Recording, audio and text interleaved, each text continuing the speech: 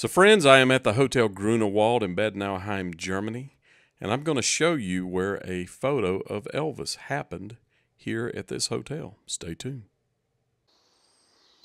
And then one more is that little barred window right there. You can see he's playing in the snow. This patio was not here back then. But let me show you what was here. And that is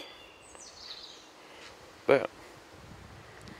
There it goes, right there.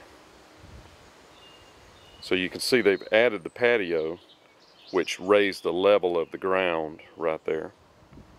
But it happened right there, friends. Right there. He was right here getting snowballs. So he was here during the winter. I know he was here in January of 59. I'm not sure 58. Uh, I'm not sure of the exact time, but I know that he was here in January of 59.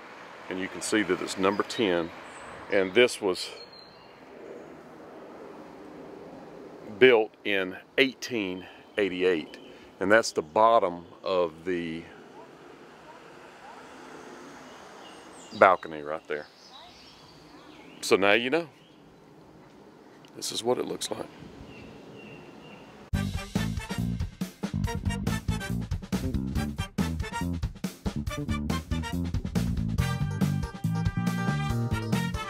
And if you're new to this channel, Adventures of the Spa Guy, I have more than 600 Elvis videos.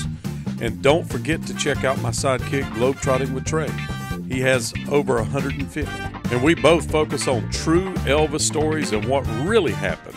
So if you want to support this effort, make sure that you subscribe, like, and then join. That helps us to get more videos out there. Yes, it does.